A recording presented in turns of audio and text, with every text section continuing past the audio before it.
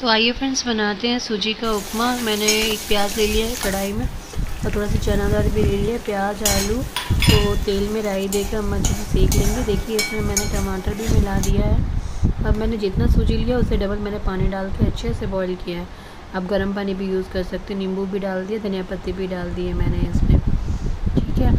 क्या करिए? धीरे धीरे सूजी मिलाइए, एक साथ में सारी मत मिलाइए और चम्मच से क्या चलाते रहिए अच्छे से। ये ब्रेकफास्ट बहुत ही अच्छा है, बहुत जल्दी बनता है और हेल्दी भी है, बच्चों को भी खिला सकते हैं, आप खुद भी खा सकते हो। देखिए, मैंने थोड़ा थोड़ा करके मिलाया है, सारे एक साथ में डालोगे तो गुटली पड़ जाएगी। वैसे उपमा बहुत ही अच्छा है, साउथ की फ़ेमस डिश है, अब सब जब सबको ही खाते हैं नॉर्थ इंडिया में भी सब खाते हैं, हम लोग भी खाते हैं। आप भी बना के ट्राई करिए बट झटपट जल्दी भी बन जाती है और ज़्यादा समय नहीं लगता है। मॉर्निंग की भागा भागी में आप इसको फटाफट बना सकते हो। ये देखिए, मैंने अच्छे से इसको मिला इसको मिक्स करना बहुत अच्छे से ज़रूरी है, नहीं तो गुटलियाँ पड़ जाती है। और ये ऑलरेडी तैयार हो ही गया है।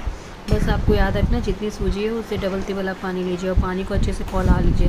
ठंडे पानी में बिल्कुल भी सूजी मत डालिए। इसको अच्छे से क्या चम्मच से चला चला के मिलाइएगा। धनिया पत्ती और नींबू डालना बहुत ज़रूरी है। और इसमें क्या बनने के बाद आप बटर डाल दीजिए तो टेक्सचर भी अच्छा आएगा और स्वाद भी अच्छा आएगा।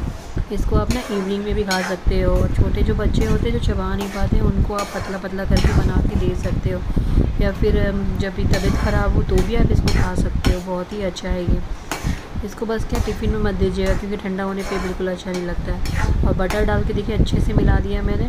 और इसको गरम गरम खाइए चाय के साथ। इंजॉय करिए फैमिली के साथ फ्रेंड्स के साथ. बाय